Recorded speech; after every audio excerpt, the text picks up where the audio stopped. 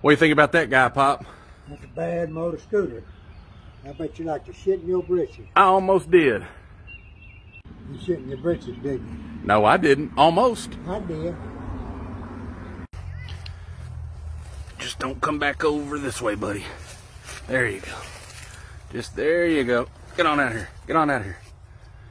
Go be somebody else's problem. Ah, after a nice hard day's work, Pop. Jason, you ain't done shit. I got rid of that snake. Yeah. What'd you do? Just throw it outside? Where's it at?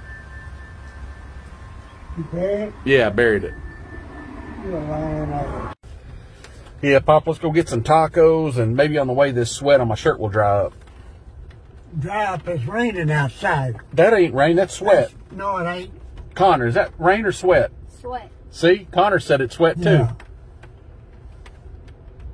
Connie don't know the difference between sweating and rain. He sees it right here. Yeah. With you talking. Take it to the bank, Conner. Take it to the bank. Mm -mm -mm. I can't say what I want because Conner's back there. Yeah, there's a line around Popeye's chicken. They're getting that extra crispy chicken. Home sweet home, Pop.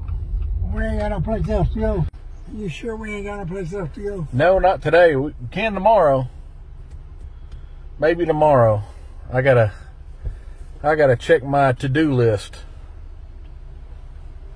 Conner and I both gotta check our to-do list. Yeah, you and Conner. And remember, if I got any other place else to go, You better come back to me. I'm gonna come back and get you. there you go. You got enough Dr. Peppers in the refrigerator? Yeah, Still the same ones I bought. yeah.